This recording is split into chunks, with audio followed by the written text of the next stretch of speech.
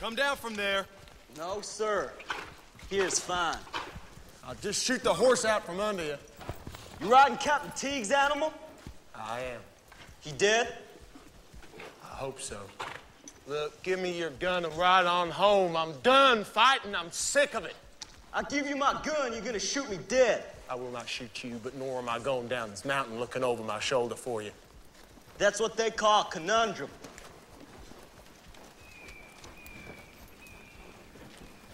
Tell you what I got on my side. What you got on your side?